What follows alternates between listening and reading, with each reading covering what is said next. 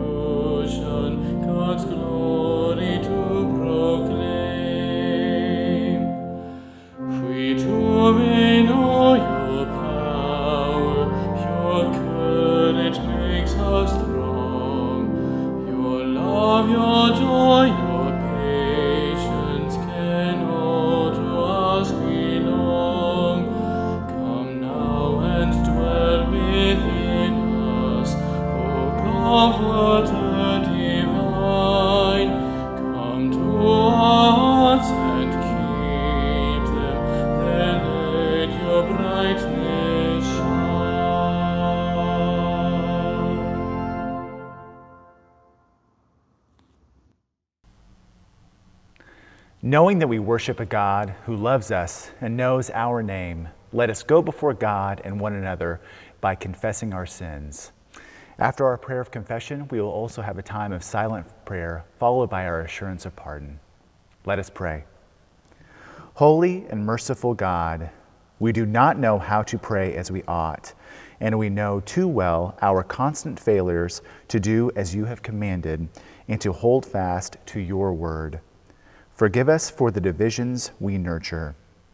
Forgive us when we turn a deaf ear to our neighbors, particularly when we disagree.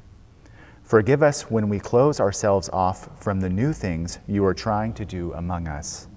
Holy Spirit, intercede for us.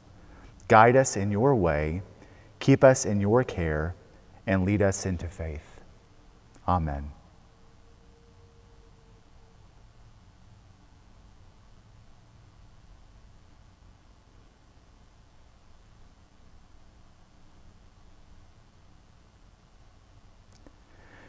Everyone who calls on the name of the Lord shall be saved. Hear the good news of the gospel. In Jesus Christ we are forgiven. Thanks be to God. Good morning. Today is Pentecost Sunday. Pentecost is the Greek name for the Jewish festival of weeks. This special celebration was held 50 days after Passover. On the day of Pentecost, Jews would travel to Jerusalem to mark the end of the grain harvest. During the Pentecost mentioned in our Bible story today, Jesus' followers were filled with the Holy Spirit. Today, as Christians, we think of Pentecost as the birthday of the church. The Holy Spirit is the helper that Jesus sent after he left his disciples and went back to God. The Holy Spirit lives within each of us to help us live as God wants us to live. Even though we can't see or touch the Holy Spirit, we can see the work of the Holy Spirit in the lives of the people who follow Jesus. The Holy Spirit inspires us to do good works, gives us the power to stand up for Jesus, and helps us to choose what is right and fills us with God's love. Let us pray. Dear Lord, Thank you for the gifts of Jesus and the Holy Spirit. Help us to follow you, be kind to each other, and spread your love. In the name of the Father, the Son, and the Holy Spirit. Amen. Please join me in our unison prayer for illumination. Holy Spirit, come again. Just as long ago you inspired and astonished the people, come to us now to fill our ears with the sound of your breath to fill our eyes with the brilliance of your presence, and to fill our hearts with your good word. Amen. Today's reading is from the book of Romans, chapter 8, verses 22 to 27. We know that a whole creation has been groaning in labor pains until now, and not only in the creation, but we ourselves, who have first fruits of the Spirit, groan inwardly while we wait for adoption, the redemption of our bodies.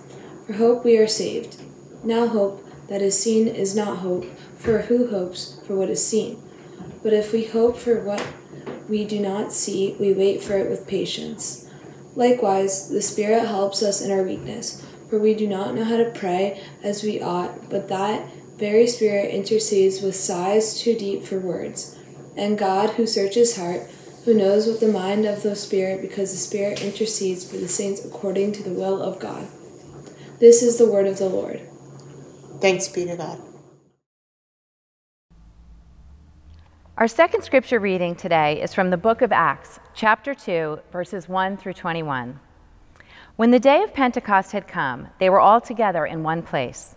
And suddenly from heaven there came a sound like the rush of a violent wind, and it filled the entire house where they were sitting. Divided tongues as a fire appeared among them, and a tongue rested on each of them. All of them were filled with the Holy Spirit and began to speak in other languages as the Spirit gave them the ability. Now there were devout Jews from every nation under heaven living in Jerusalem. And at this sound, the crowd gathered and was bewildered, because each one heard them speaking in the native language of each. Amazed and astonished, they asked, Are not all these who are speaking Galileans? And how is it that we hear each of us in our own native language? Parthians, Medes, Elamites, and residents of Mesopotamia, Judea and Cappadocia, Pontus and Asia, Phrygia and Pamphylia, Egypt and the parts of Libya belonging to Cyrene, and visitors from Rome, both Jews and proselytes, Cretans and Arabs.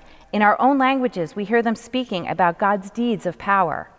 All were amazed and perplexed, saying to one another, What does this mean? But others sneered and said, They are filled with new wine. But Peter, standing with the eleven, raised his voice and addressed them Men of Judea and all who live in Jerusalem, let this be known to you and listen to what I say. Indeed, these are not drunk, as you suppose, for it is only nine o'clock in the morning.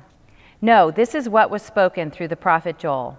In the last days it will be, God declares, that I will pour out my spirit upon all flesh, and your sons and daughters shall prophesy and your young men shall see visions, and your old men shall dream dreams. Even upon my slaves, both men and women, in those days I will pour out my spirit, and they shall prophesy. And I will show portents in the heaven above, and signs on the earth below blood and fire and smoky mist. The sun shall be turned to darkness, and the moon to blood, before the coming of the Lord's great and glorious day. Then everyone who calls on the name of the Lord shall be saved. This is the word of the Lord. Thanks, Thanks be to God. to God. A few weeks ago, Eric, Nathan, and I vacationed in Cape May. And on our last day, a huge windstorm kicked up, with sustained winds of 30 to 35 miles an hour and frequent gusts up to 65 miles an hour. It affected the whole region, so you may remember it. The condo we rented sat right on the edge of the bird sanctuary marshlands, which gave us tremendous views, but also meant that the only thing available to block the wind as far as the eye could see was the back wall of our house. I felt unsettled and anxious that entire day. The constant groaning and pressure of the wind against the windows and the rattles and trembles with every big gust really got under my skin. At moments, the sheer power of the wind awed and exhilarated me. But mostly I had visions of deck furniture and tiny bird bodies crashing through the sliding doors downstairs. Wind does so much more than potentially destroy, of course. That same blustery day, I looked out those sliding doors over the marshlands and watched the birds cavorting through the same gusts I irrationally feared would hurtle them at the house. They used that wind to help them dive for food, to coast without a single twitch of wing, and maybe even to have a little daredevil birdie fun. As a child, I remember the day I learned just how essential wind is to flying a kite and that I couldn't create that wind for myself. I had built a kite at Girl Scouts, I think, and was so excited to fly it that I took it right out to the field behind my school and ran with all of my might, dragging that kite behind me. I looked back again and again, hoping to see my kite taking flight, but it never happened. There simply wasn't enough wind that day, and I would never run fast enough to lift that kite. We know wind carries great creative power as well. It literally helps shape the face of the earth through erosion. It keeps things moving weather systems, air pollution, boats, windsurfers, and when harnessed, it can even power a city. When the violent wind and fire of the Holy Spirit blew through the upper room where the disciples were gathered on Pentecost, it must have unsettled them with a mixture of awe, exhilaration, and terror. I wonder if they too feared for their windows and doors both literally and metaphorically. You see, the disciples had spent the time since Jesus' ascension putting their house in order. While they huddled together and waited, they constantly devoted themselves to prayer, the act of the faithful in times of transition. And as we heard last week, they enacted a strategic process to restore the band of apostles to the perfect 12, the number which matched the 12 tribes of Israel. Everything was neat and tidy and safe, but they weren't going anywhere. Then the tongues of fire descended, and the wind blew open their house, blew open their minds, and blew open their mouths. In one divine gust, the Holy Spirit created a proclamation powerhouse out of this motley crew of Jesus followers who had a rather long and dubious track record of bumbling cluelessness. Suddenly, the disciples are able to announce God's deeds of power in the native languages of all the diverse peoples of the world who were gathered in Jerusalem. Suddenly, Peter finds himself transformed from a cowardly denier into a bold preacher. At the Tower of Babel in Genesis, God scattered the peoples of the world by jumbling and confusing their communication. Now at Pentecost, the Spirit empowers the disciples to become conduits across language for the reunification of humanity in the person of Jesus Christ. The Holy Spirit blows the disciples beyond the safety and comfort of their four walls, their closed group, and their shared language into a large crowd of strangers, some of whom are inclined to believe the disciples are drunk. The Spirit upends the quiet order of the upper room in favor of a wild, abundant explosion of new life for the infant church. The disciples' numbers swell from 120 to over 3,000 in a single day. The wind blows and nothing stays the same. I think we continue to find the Holy Spirit quite unsettling today. We know we can neither predict nor control where its wind will blow and with what force. And that makes us profoundly uncomfortable, especially as type A Northeasterners. As Presbyterians, we also tend to talk about the Holy Spirit a whole lot less than we do about God and Jesus. We give her this one Sunday a year, plus the occasional honorable mention, and that's about it. Through our language and our practices, we show we're more comfortable with the belief that the future of our church, its success or its failure, rests squarely with us.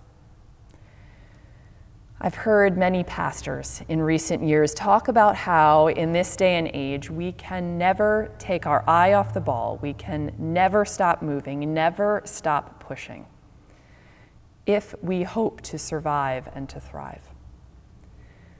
Now, I know they mean that static complacency will not spread the gospel, nurture disciples, or ensure the ministry and presence of the church into the future we got away with it when church membership was more of a social norm, but no longer. Our energy, imagination, intelligence, and love are required. But I fear that it's far too easy for us to hear within such statements that this ship will only move forward if we're madly rowing it. Our kite will fly if we only run fast enough. And that's a tremendous amount of pressure, profoundly exhausting and spiritually draining. Plus, when we allow ourselves to act like it's all up to us, we can also persist in the comfortable but misguided belief that we get to chart our own course and control what the church looks like and what the church does. Our temptation toward excessive self reliance only intensifies when life gets tumultuous and uncertain. And tumultuous and uncertain it is. We continue to live in a deeply divided country and a world shaken by bombs and guns and unrest. We're emerging from the worst of the pandemic in this country and facing our collective trauma as life reopens at a suddenly whiplash pace. We're worried about how many of our people will come back and how many won't, and what that will mean for our future. We're continuing to transition through this interim period from the Dave Smazik era into whatever lies ahead.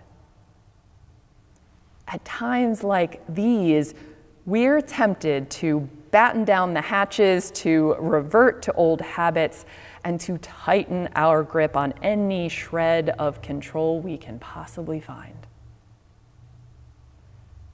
But the story of Pentecost encourages us instead to drop our oars, let go of the rudder, and relinquish our control, scary as that may be.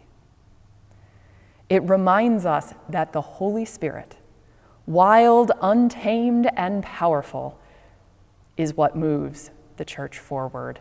And it can move us to heights we've never imagined. The Holy Spirit, recklessly poured out upon all flesh, young and old, male and female, slave and free, is the one God sends to shape us into the beautiful, messy, diverse, unified body of Christ.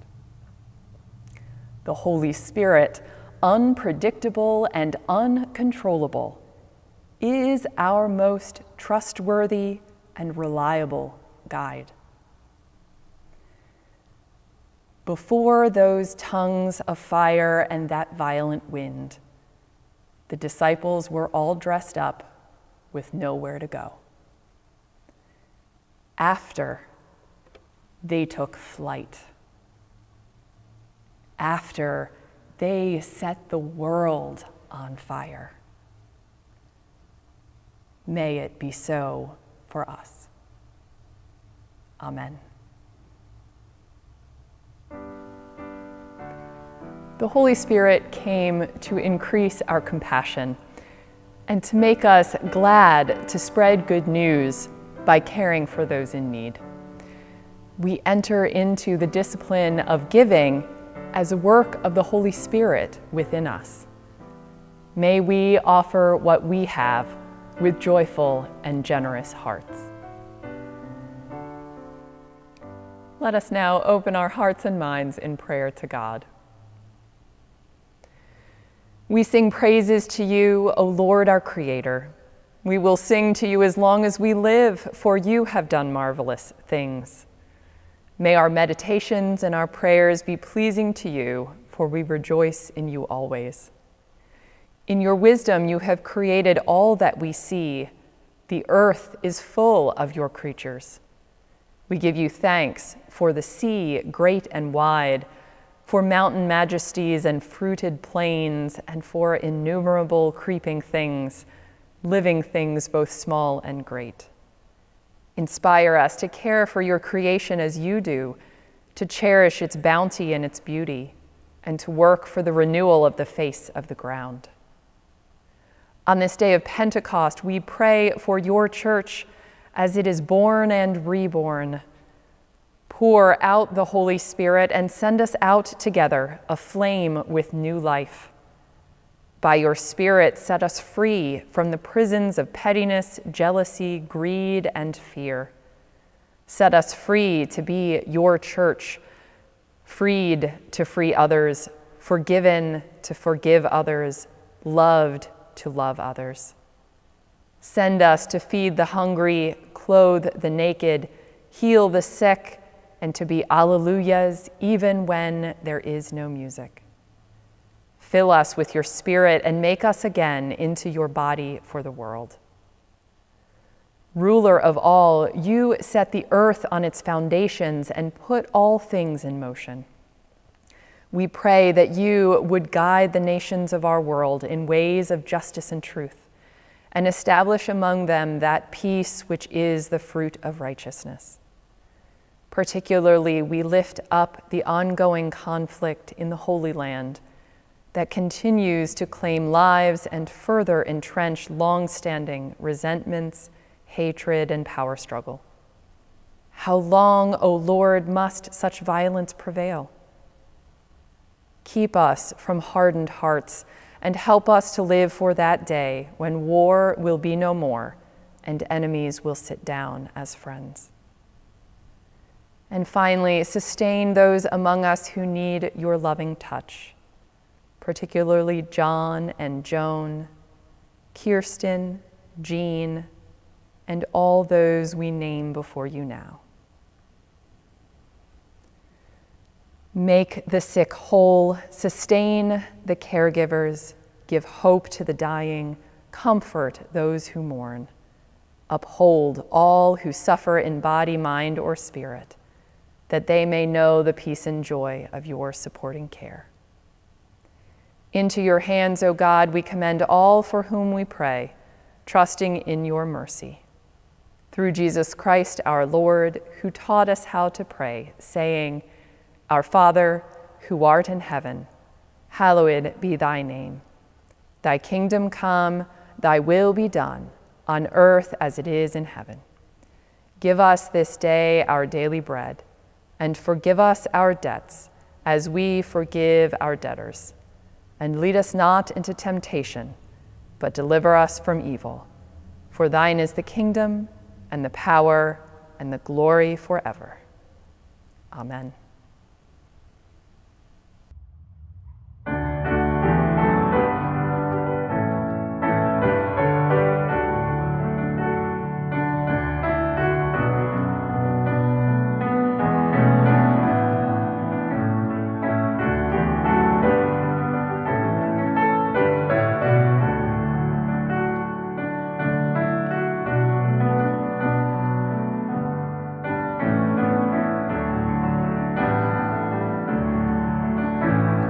Spirit, Spirit of gentleness, go through the wilderness, calling and free. Spirit, Spirit of restlessness, stir me from placidness, wind, wind on the sea.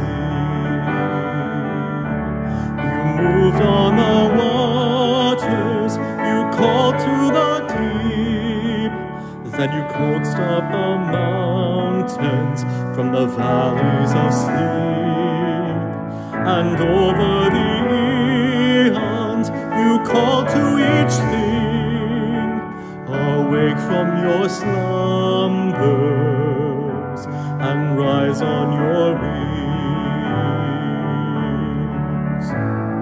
Spirit, Spirit of gentleness, blow through the wilderness, calling and free. Spirit, spirit of restlessness, stir me from placidness, wind, wind on the sea.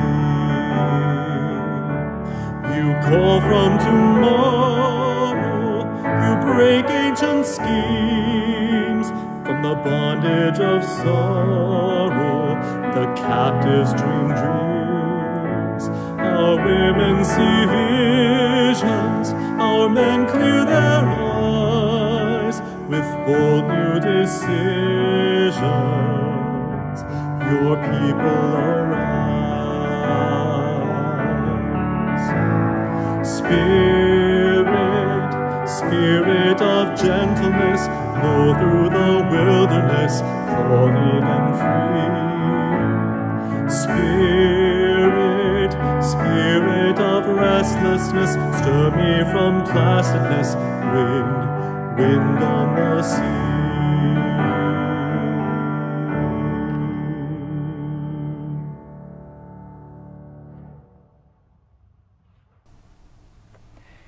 May the Holy Spirit blow through your hearts this day, fill you with God's blessing and set you on fire for the sake of the world. Amen.